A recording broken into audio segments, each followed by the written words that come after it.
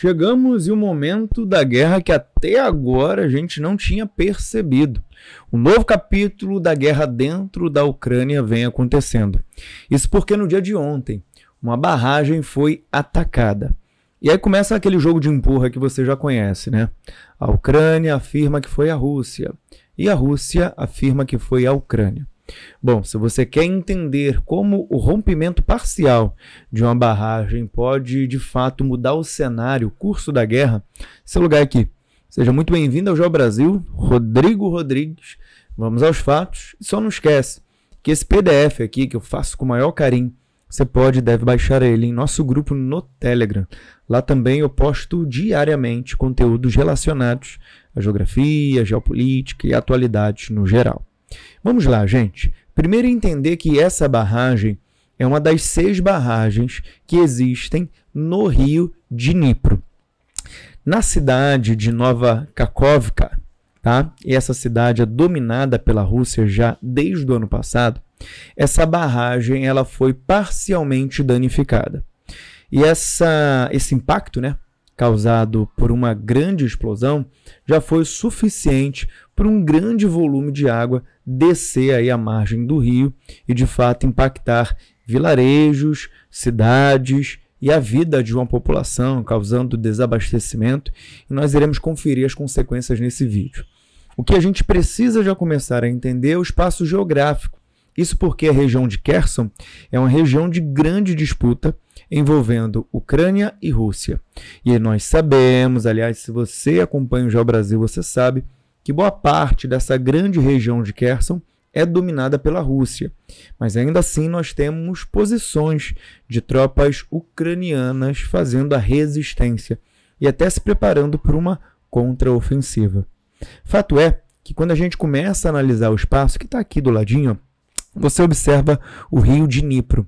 O rio de Dnipro ele é um fator de limitação do espaço geográfico, ou seja, ele divide geograficamente as tropas Rússia, as tropas da Rússia, melhor dizendo, e as tropas da Ucrânia. Isso porque mais ao sul do rio de Dnipro você tem posicionado lá tropas da Rússia e mais ao norte do rio de Dnipro você tem tropas da Ucrânia, tropas posicionadas. Esse fator geográfico, ele de fato dificulta a incursão e até o, o volume de posição que você pode ter no território. Então a Rússia ela tem dificuldade em avançar e tomar a posição da Ucrânia, e assim como também nós temos uma grande dificuldade do exército ucraniano de conseguir avançar e tomar essa posição da Rússia. Região de Kherson, que ainda está em disputa, mas boa parte de Kherson está sob o domínio da Rússia, tá? Então veja a importância do estudo do espaço geográfico dentro dessa região de conflito. O que acontece é que na cidade, nessa área aí da Nova Kakovka, nós temos aí o rompimento de uma barragem. O rompimento parcial dessa barragem está afetando os dois lados.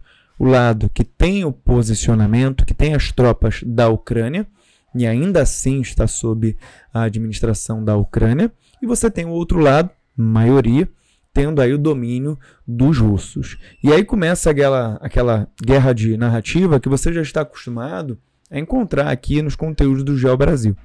A Rússia acusa a Ucrânia. A Ucrânia, por sua vez, acusa a Rússia. E quais são os argumentos que buscam fundamentar essas acusações? É o seguinte: o rio de Dnipro ele fornece o abastecimento hídrico da região da Crimeia. Crimeia, uma região que pertencia à Ucrânia, que foi anexada pela Rússia em 2014. Então, hoje, quando você fala em Crimeia, nós estamos falando que um território hoje é dominado pela Rússia, inclusive a Rússia anexou e faz parte do território russo. Em contrapartida, a Ucrânia, logicamente, não reconhece, assim como os países da ONU também não reconhecem a Crimeia sendo da Rússia. E tem toda essa questão da Crimeia ser ainda desenrolada e resolvida. Então a Rússia ela vai acusar a Ucrânia de atacar essa barragem, prejudicando o abastecimento da Crimeia, Crimeia que é território da Rússia. Esse é o principal argumento que a Rússia utiliza, tá? Quando fala que foi a Ucrânia que fez isso.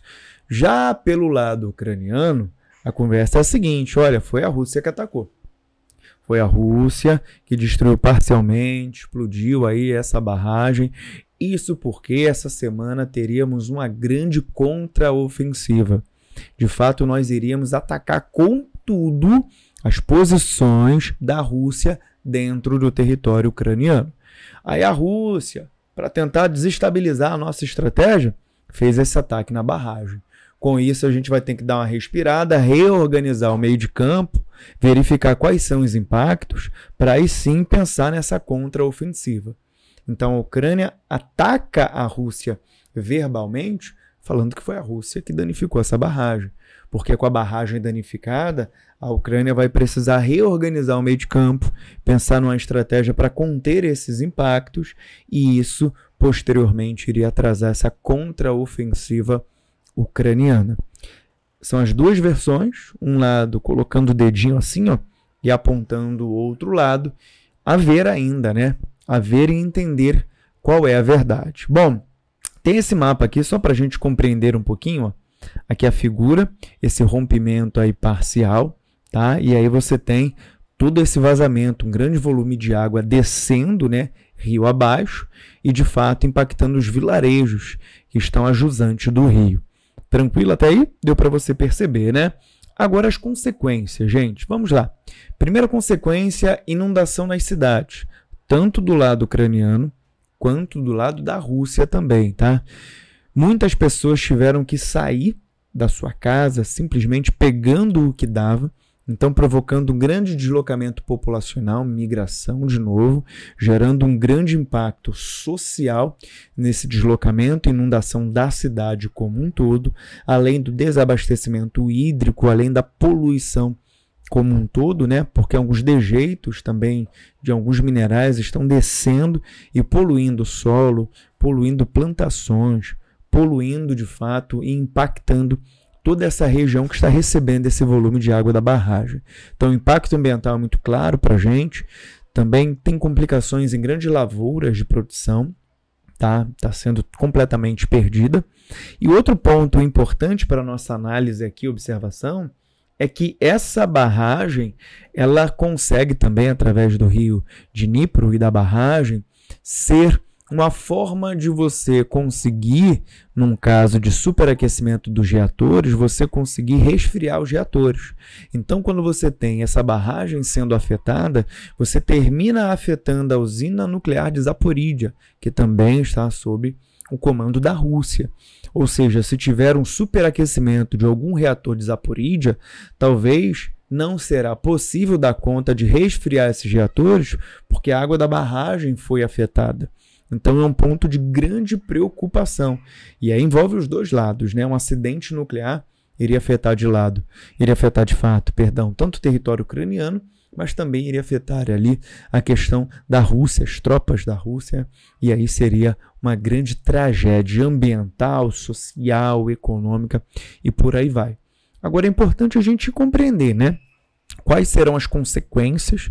Nesse momento, as tropas da Rússia precisaram logicamente, se realocar, fazer o um movimento ali para conseguir se afastar dessa barragem, se afastar desse impacto que vai acontecer ali, já está acontecendo, aliás, na sua ocupação, assim como também as tropas da Ucrânia precisaram ali se reorganizar. Então, nesse primeiro momento, você já começa a observar um reagrupamento, um deslocamento de tropas para conseguir fugir desses impactos. E nesse momento, com certeza, durante a gravação desse vídeo, já há de fato aí uma nova estratégia sendo configurada e nós iremos acompanhar tudinho aqui no Geo Brasil, trazendo esse mapa mental de qualidade para você visualizar o que vem acontecendo. Bacana? Deixa o teu comentário aí. Quem você acha que realmente atacou essa barragem, causando todo esse prejuízo ambiental e social? Será que foi a Ucrânia mesmo que atacou? Será que foi a Rússia para evitar essa contraofensiva ucraniana? A ver. O que você precisa ver mesmo é o like que está aqui embaixo, esse botãozinho. Deixa o seu like aí, que ele é importante demais aqui para o nosso trabalho. Eu vou te atualizando ao longo da semana, tá? No mais é isso. Eu fico por aqui. Forte abraço Vibra a cada aprendizagem assim, ó. Vamos!